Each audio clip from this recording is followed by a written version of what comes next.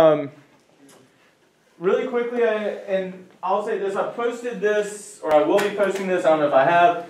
These are the solutions that we came up with for numbers 1, 2, 3, and 4 on Thursday, I think is when we shared all these. And so, uh, McKay and Caroline did a good bit. Jeffrey, did I have you put an answer up? Yeah, he did number four. And then, I can't remember, I think that was it. And I, I think I had McKay and uh, Caroline, because they were done early, collaborate on number three.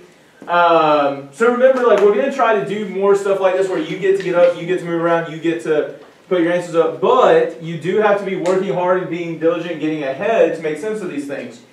Uh, does anyone remember what the point of this task was so far? We're going to recap a good bit, but what were we trying to learn through this task? Um.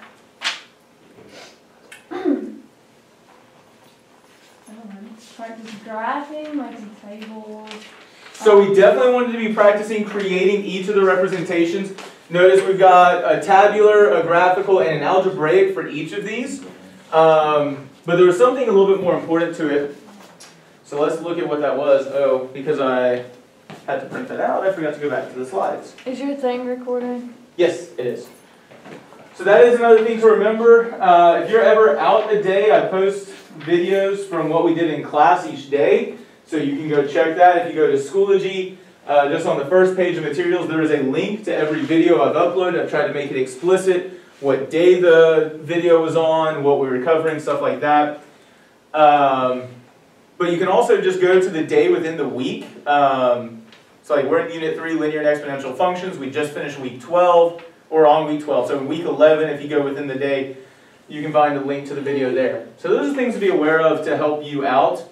So we're going to look at the objectives for today, and then we're going to try to wrap up 2.1 as much as possible. If we can finish up 2.1, we'll move on to 2.2 after looking at its objectives. Really quickly, I do want to remind you of this. Why do we look at the objectives for everything before we even start the day? Um. To know what. to have a plan. Okay, partially to have a plan. It's hard to accomplish your plan if you don't know what you're trying to do. Literally, that's what an objective is. I can identify the domain of functions with additive uh, rates of change and multiplicative rates of change. We're about to get to that point. We didn't get a chance to do that yet. Um, and then we want to be able to differentiate arithmetic sequences from linear functions and geometric sequences from exponential functions. We didn't quite get a chance to wrap that up, but what I do want to point out is we did look at this idea. A sequence is a discrete model. I remember this. Now we're starting to remember it. Versus the linear and exponential functions. There we go. Those were continuous models.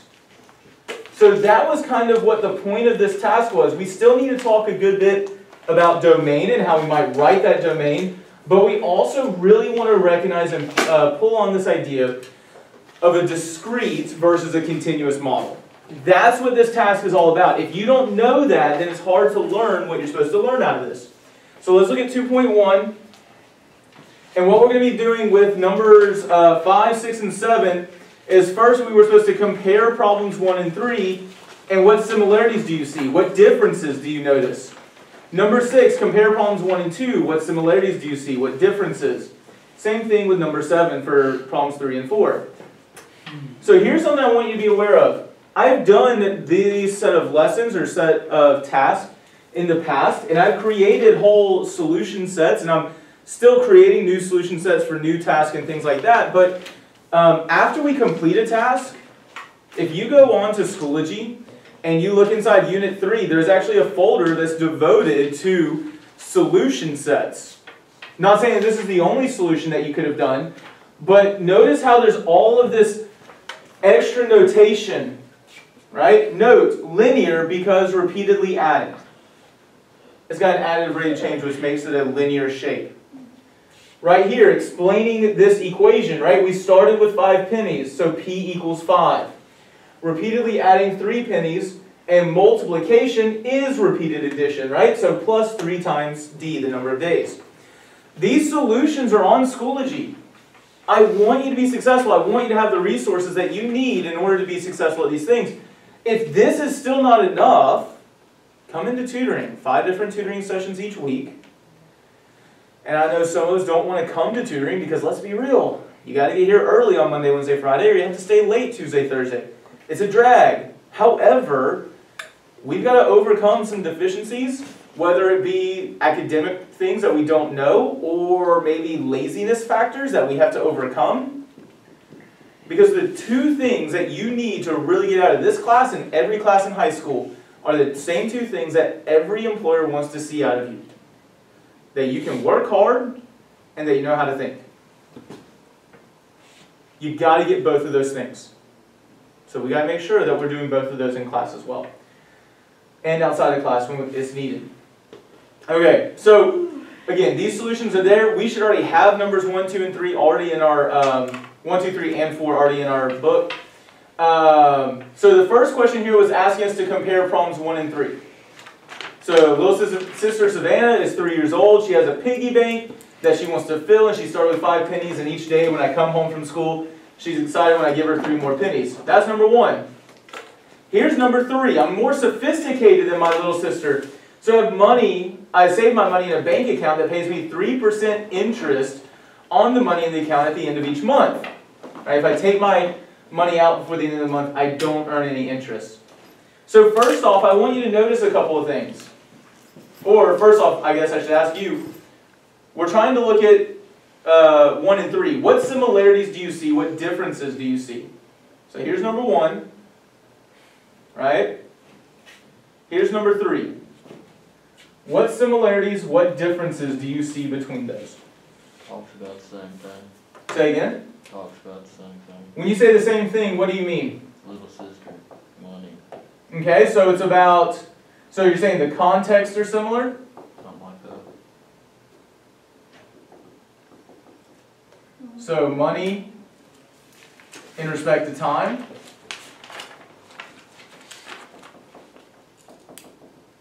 Are there any other similarities?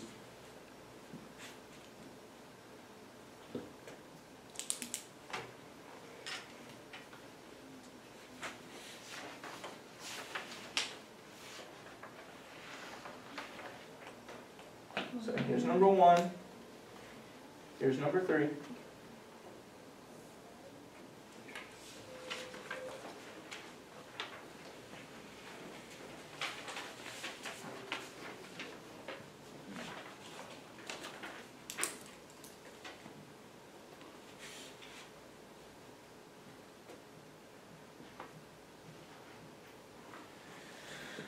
Let's look at a couple of just simple things. Look at my graphs. What do I have on my uh, graphs every time? Labels. Days and pennies. So similarities, right? Contexts are similar.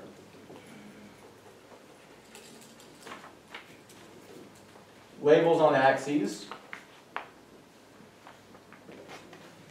Um, I do want you to notice what type of variables are we dealing with on the x-axis? Days, months, Time. here we have minutes, Time. time, right? Yeah, starting back early. Time is my independent variable. And I, I, I do want you to pay attention to this. Almost every time you deal with time, that's going to be your independent variable. Time continues on. And the things change around it as a result of how the cha time changes. Right? Number two, as the minutes go by, I get more gallons in the pool. Number one, as the days go by, the sister gets more pennies. Right? Time is almost always going to be our independent variable. Are there any other similarities that we can start to pick up on numbers 1 and 3? You're missing one of the most important ones, to be real.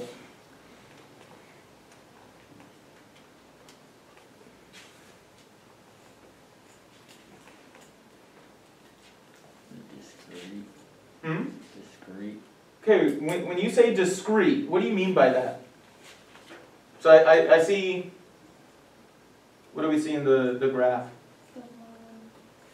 Well, here it's linear, I do agree, but if you actually check here, it's close to a line, but it's like got a little bit of a curve here, we'll talk about why in a second. When you say discrete, what do you mean by that, McKay? It's not like, I don't Things know in what you're between. seeing on there. like things in between the dots or something. Yeah, right here in between the dots. Think about this context. If I take my money out before the end of the month, I don't earn any interest. So, month zero, she's got $50. Will she have any more money until the end of that month? So, is there anything in between these two points? Right? We need to recognize that it is discrete. Well, let's check number one as well. So the little sister Savannah is getting three pennies every day. So is there any point between zero and one days where she has six pennies? No. She has five pennies to start, and at the end of day one, she has three more pennies. She doesn't get anything in between there. So discrete means that the points are isolated. Cannot get anything in between. That's a critical detail that we need to notice. We are legitimately talking about discrete points here. Zay, you can't bother writing this down?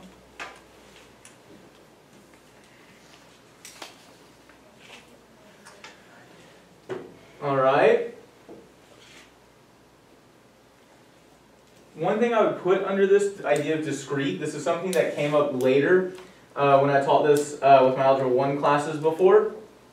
We want to recognize that discrete really means, or one way to recognize discrete is anytime you can count something, right? When you're dealing with discrete concepts, that means you're counting something, right? You're counting the pennies.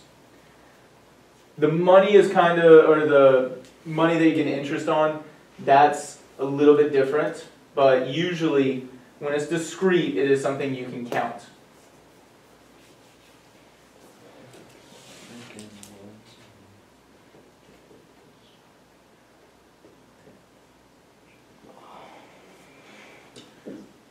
We also want to talk about domain. Y'all should have talked about this in previous math classes. What do I mean by domain?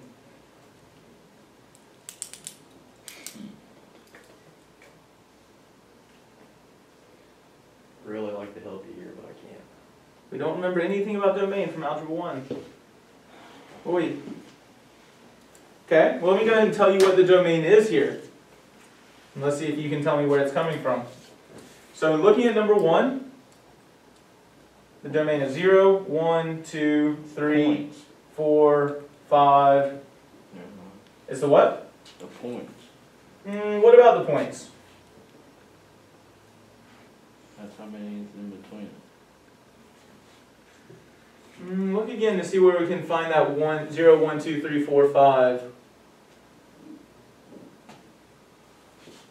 The days. That's the days that we're looking at, right? Yeah. Can we see that in the table as well? Yes. Which variable is the days? My independent or my dependent? Dependent. If you think about your science class, you put your dependent variable on the x-axis. Independent variable. Remember how we earlier identified time is the independent variable, right? Time is almost always going to be your independent variable. When we talk about domain, what we are looking at is all values for the independent variable.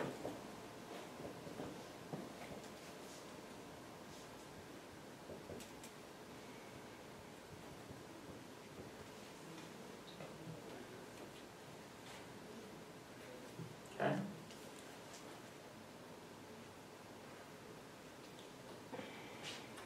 So this is still a similarity.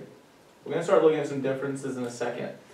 But I do want you to make this note because this is gonna come up on two point two and this is what you need to start doing with two point two. We don't wanna just write 0, 1, 2, 3, 4, 5 and then dot, dot, dot. Does anyone know what number system we're dealing with when we say 0, 1, 2, 3, 4, 5? Do you know what I mean by the number systems? No? Got one no? Anybody else? Not sure? Is it the Dewey Decimal? That's a library idea. Uh,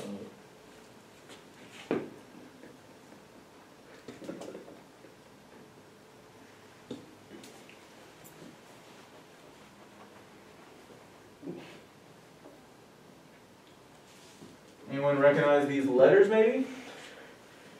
the alphabet? Yep, good job. They are from the alphabet. You got it. How about the real number system? The irrational number system. The rational. Alright, the- how long is it? Integer. Whole. Might actually remember that. And natural. I do not remember. You don't remember those things at all? I've never seen I haven't seen Okay, it like, so- set up Not like seen this. how- Well, thi- I'll show you in, this, in a second why I'm doing it this way. If you have never seen these number systems, then you need to find somewhere on that sheet of paper or on a blank sheet of paper to write down these number systems. it. I know. what you We'll start with the natural number set. Let me get another piece of paper. Cause I'm committed to this class now. Let's go, that's what I like to hear. I'm about to make it big. Hey McKay, if you were to start counting, where would you naturally start counting? Zero. Would you really? If I went like this, One, two, three, four, five. right? Right. Oh Wouldn't you start counting at one? Yes. The natural number set is numbers one, two, three, so on and so forth. Okay, the natural number set is one, two, three, so on and so forth. Is that a big R or IR? Can't really tell. That's an R. Uh, So tech, technically, all of these are supposed to have an extra line somewhere. Um, it's called Blackboard Bold, and the Blackboard Bold is the symbols that we use for the number sets to separate that R- the that R from just a normal R. And like natural, I know it goes here. I have no clue where it's supposed to go on the W. It's something weird. Okay, so the whole number set. That's actually very, very similar to the naturals. And it's where McKay wants to start counting. So what number would it start at? Zero. One. Zero, Zero. one, two, three, so on and so forth. Okay, so the natural number set is one, two, three. What's eager? The whole number set is zero, one, two, three. What I want you to notice is the natural number set is within the whole number set. That's why it's below it, right? So the natural number set is completely inside of the whole number set. Okay? Interesting. The integer number set, I know. does anyone have a guess or remember anything about the integers? Decimals. Not quite yet, you're close. Fractions. That would be part of decimals. Yeah, my bad. Negatives. Not just negatives, Negatives from number three, negative three to regular three. well, notice these decimals, or these dot dot dots, the ellipses, Oh, that's. same thing on the whole. Infinity. Okay, so the natural number sets, uh, that's the whole, wholes without zero. The whole number set starts with zero, I forgot to write so starting with zero, all whole numbers, which means that there is not a part of a number.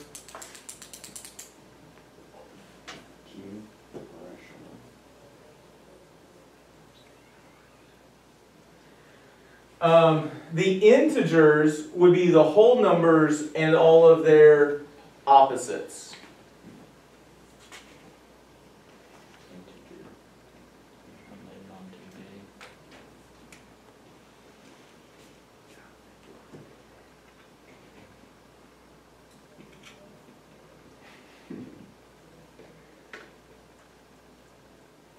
Integer. Sorry, I did not think I was gonna have to be teaching this, but if we're not sure, we gotta, It's we gotta adjust on the fly. No, you're good. I thought we knew what this was, and this is my bad for assuming.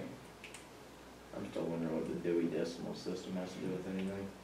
You don't need to worry about it too much, to be real, like, librarians will usually help you out with that. Not bad. When's the last time I've been caught in a library? Fair enough. Middle school. Uh, rational numbers. And, and so something I do want to point out, pretty much all of these letters should make sense, right? N for natural, W for whole, um, Yeah, I for irrational, R for real, I don't get Q or Z. Q or Z. That I figured, and that's what I was about to talk about. So first off, I'm actually gonna have to remind myself of what it is. I can tell you Z comes from a German word, Oh, I know. Zingers. not not zingers, zing- Zine. Uh. Zahlen, Oh, there you go. Or Salen, I think is actually how you pronounce it. Um, I know that. all that that is is the German word for number. So, y'all, I assume, have at least heard the term. Ooh, have y'all heard of the term imaginary numbers? Yeah. Yes. I won't lie. So, fun fact: imaginary numbers are real numbers. But when they were first discovered, they always assumed, man, there's no way that this could be a real number, so they called it imaginary. Um, in a similar way, the integers, the negatives, were thought to not be a thing. That's why they are negatives. They are things that we didn't like, so we ascribed this negative name to them, right? And I think that it was a German who really pioneered the idea of positive versus negative numbers, which is why we have that z for integers. And then a rational number, that's where we start to include what numbers they all talking about earlier. Just Negative. decimal. Not negatives, decimals. Okay? 2.2, uh, 1.3 repeating, 7.5. Now, what most people are unaware of is that the rational numbers, either the decimal has to terminate or the decimal has to repeat. The reason why is because when we talk about the rational numbers, we're talking about a ratio. Specifically, if you look at 2.2, that would be 11 fifths. 1.3 repeating would be 4 thirds. 7.5 would be 15 halves.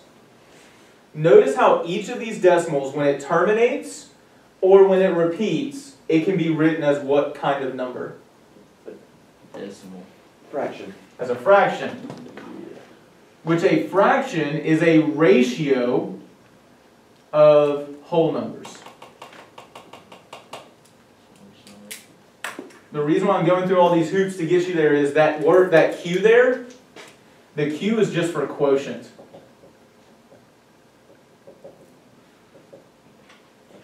Isn't that ratio just a division or a quotient of two whole numbers? I don't know that word. A quotient is just division. Ah, yeah. The quotient is the result of division. Yep.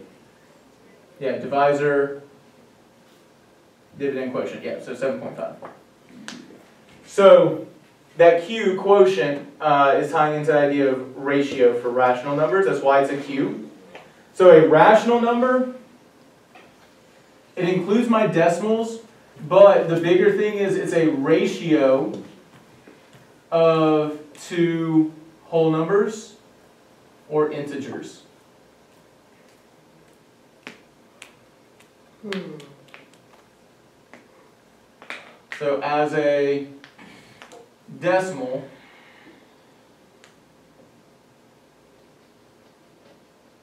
the decimal terminates or repeats.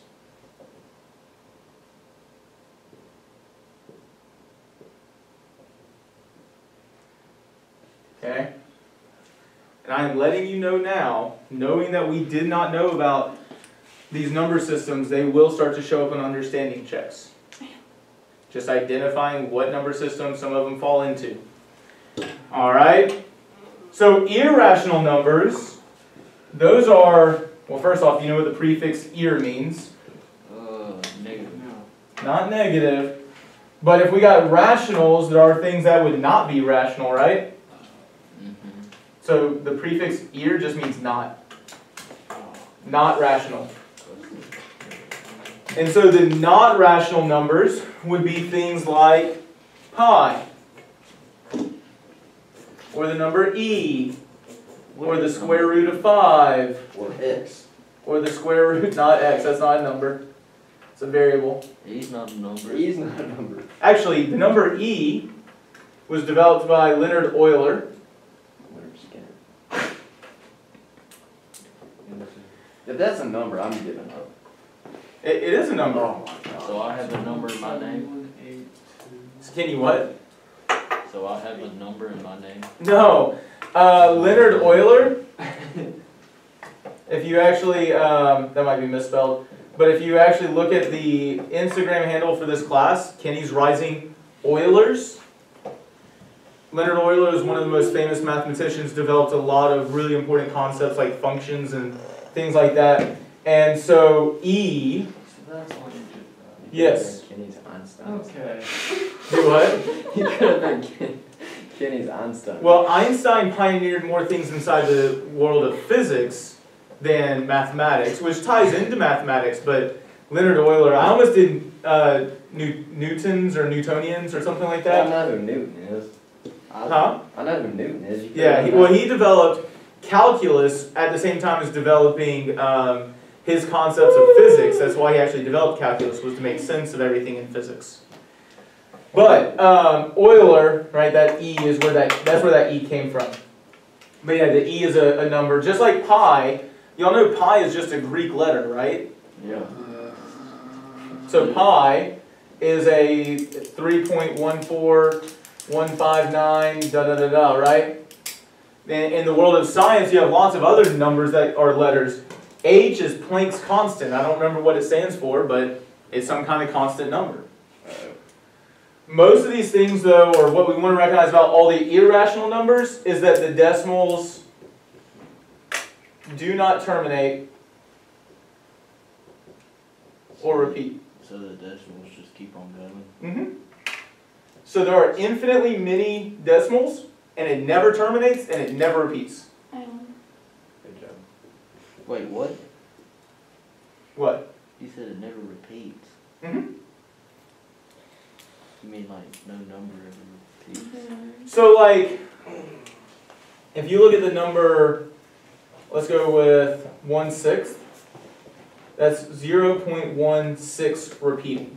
So notice how that six repeats for forever. If you look at something wild like one seventh, notice that's a fraction. So at some point the decimal is either going to terminate or it's going to repeat, right? If you look at a calculator though, usually all you will see is this. So does it look like anything's repeating yet? Uh, yeah. But if you look further, it becomes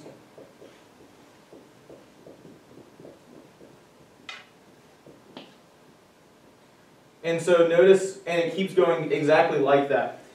So those six numbers keep repeating for all of eternity.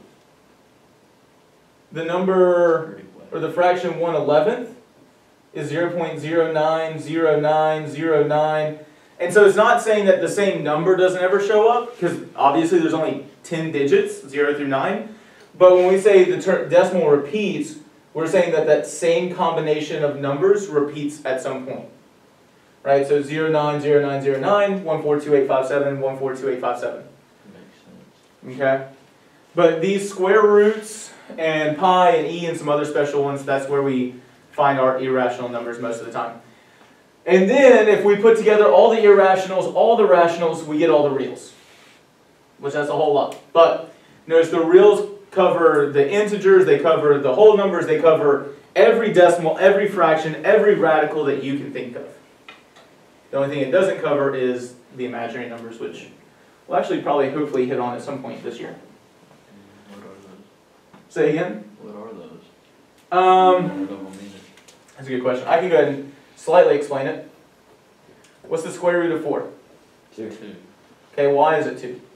because it's half of it. But it's not that big. Sounds. Remember, half in division, that's the inverse of multiplication. This is a lot to take in. I know.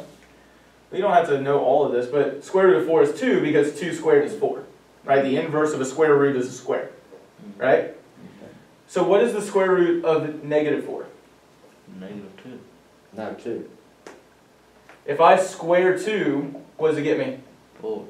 If I square a negative two, what does it get me? Four. It also gets me a four. So there's this issue of how do we deal with a negative inside of the square root? Oh, it's an error on the calculator. It is an error on the calculator, but there is actually a way to deal with it. So what we have done is we've defined the square root of negative 1 as the number i. And so what we would do here is we would split this up as the square root of negative 1 times the square root of 4. So that is the square root of negative 4 right there. And so I'm going to deal with that square root of negative 1 as an i. The square root of 4 is 2. So that's 2i. That's an imaginary number. Oh. Can't they just keep them? Really mind blowing. So, That's pretty, very tricky, pretty cool. to think Yeah. of. Wish I'd be able to remember that. Well, so here's the thing, like I've been dealing with this for, I don't know, fifteen years now? Some about, somewhere around, somewhere around there. Um, you know, I studied this in high school and I studied it more in college because, well, in my grad school as I learned more about mathematics to be a teacher. Um, so you get there, it's not something that I just learned overnight. That's what a lot of people forget about teachers. We should know this because we've been teaching it and learning about it for years. This isn't something you just learn overnight. You have to spend time exploring it, things like that. So we are not going to be able to finish this. We still have like 10 minutes, so we're going to get as much done as we can. But I want y'all to notice something about what I did here. If you have questions that are productive and mathematical, ask them. I'm more than happy to derail what I'm doing to feed your interest and to go deeper into a concept that I had no interest in or no plans to do, right? I had no plans to talk about the number sets. Had no plans to talk about imaginary numbers or anything like that. But if you ask a question, I'm more than happy to cover. I Okay? feel like I've learned a lot more like this too, though. Yeah, because you're asking questions. When you ask the questions, when you drive the instruction, you're more invested, right? So I have a plan of, hey, I want to cover this thing, but like, if you think of a mathematical question, bet, let's go for it. Okay? Okay, so all that being done and said, let's talk about this a little bit more. So when we're looking at similarities for numbers 1 and 3,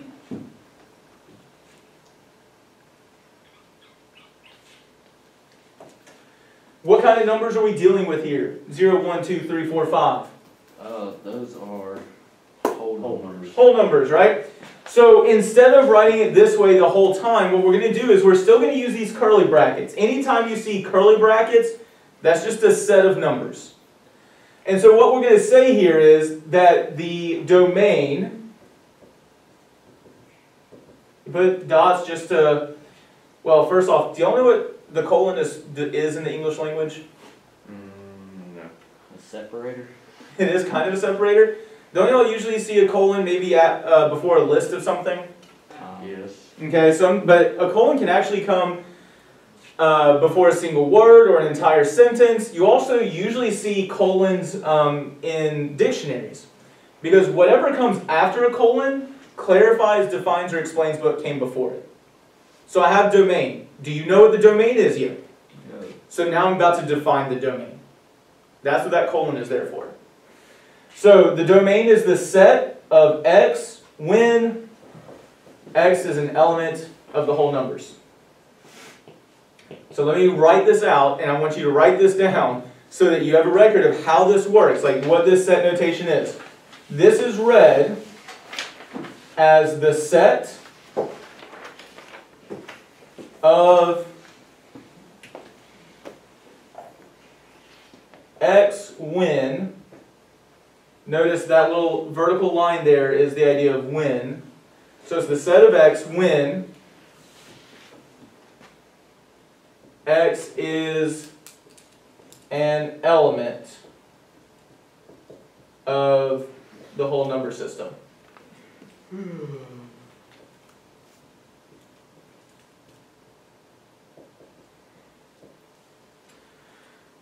Anyone wanna take a shot in the dark and guess what symbol stands for is an element of? That little looking thing. That funky looking E little thing, yep. Right, mathematicians are not original, if it looks like that would make sense, that is what it is. Um, all that you do to make this symbol for the element of, put a C, and then a line through the middle. It is closer to an E, but that's how I always create it. it, is a little C with a line through the middle.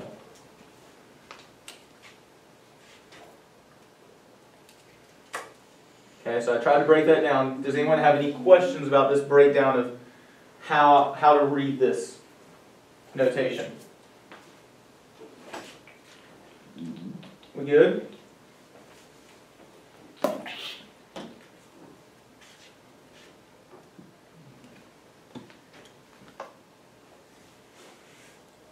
Can I erase this number system stuff? Do we all have this down? Yeah.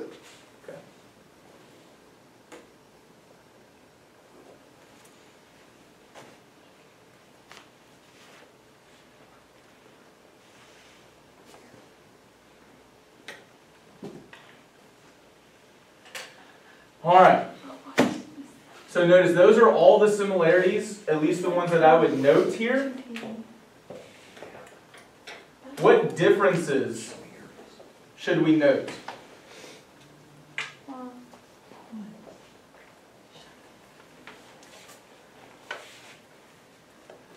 So we're still looking at numbers 1 and 3. What differences should we note? Maybe look at the graph, maybe look at the table, maybe look at the equation. One's adding, Is this one adding? none, Can you go back to the other one real quick? and then one's multiplying. Oh, never mind, I'll go. So one's arithmetic and one's geometric. Okay, so what do you think this one is? Arithmetic or geometric? Geometric. Okay, so number three is geometric. What told you is geometric? And it told me one point Okay, so multiplying by 1.03 each month. So because I had a multiplicative rate of change,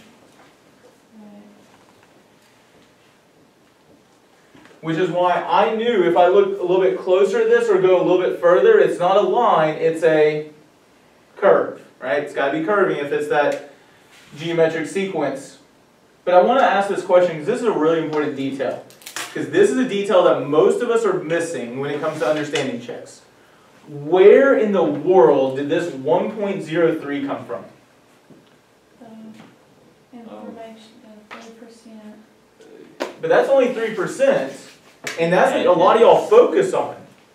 He had, he started with the hundred percent, then you added three percent. I need y'all to focus on this detail. If that bank account pays me 3% interest on the money in the account, we need to recognize that I start out with all of my money, right?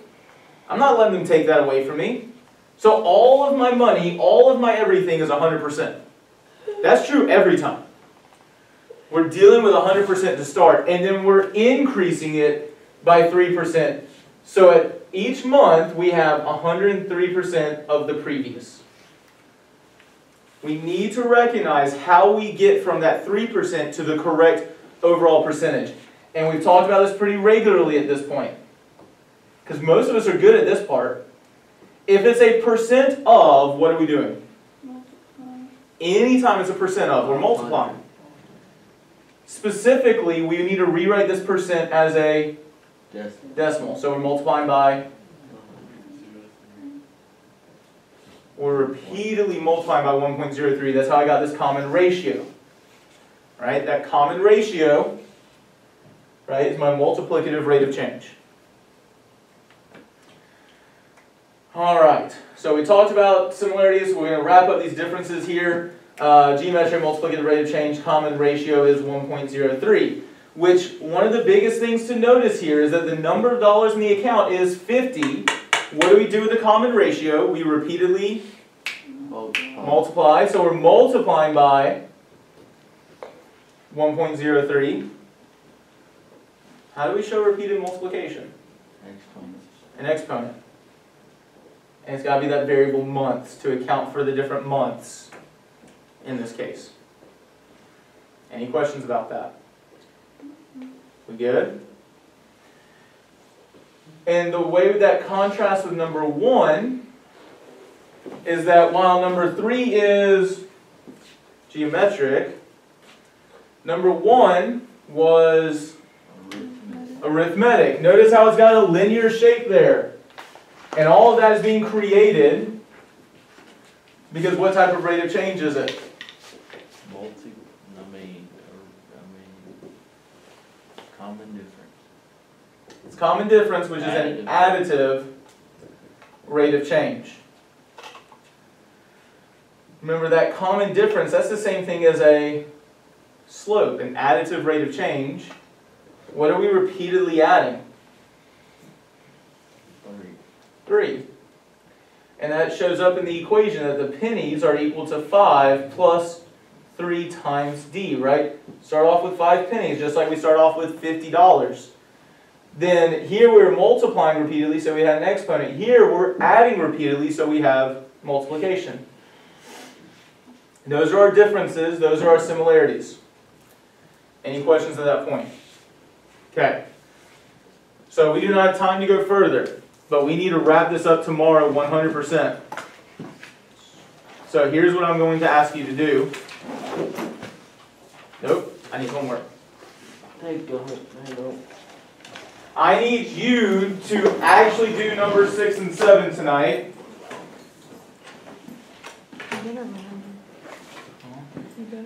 Um, so I need you to do, or ignore this homework. I'll adjust it on Schoology. Alright, so two point one, numbers six and seven. And then I need you to do arithmetic means and geometric means. That was from one point nine and one point ten. So y'all remember that vocab sheet that I gave y'all? Looks like this. I know you can have this one, Gavin. Okay, so this vocab sheet, I need you to define arithmetic means and geometric means before you come to class tomorrow. And I need you to do 2.1, number 6 and 7. Alright, We good? I'll look at it. This, uh, these slides are already up, so you can actually see the solutions for numbers 1 through 4 to help you if you don't have the solutions for those. Let me quickly spray the desk. Zay, can you make sure everyone gets paper towel? Thank you, sir. Gavin? Here you go, sir. Thank you. Yes, sir. I'll dance at your wedding. Thank you, Lord. I'll dance next wedding. It's so cold in here. I'm sorry you feel that way. I disagree wholeheartedly, but I think everyone. you think everyone what? I think she's the only one like that in here.